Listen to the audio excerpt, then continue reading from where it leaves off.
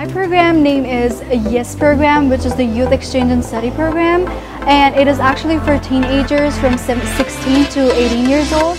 I was placed in Hutchinson, Kansas, and I lived there with a host family for a whole year. I had a single host mom with two host brothers. It was pretty fun with all the cultures and all the family members. I love the school system, the diversity you can find everywhere. It's just so amazing. I got a chance from this program to play actual sports uh, in my high school.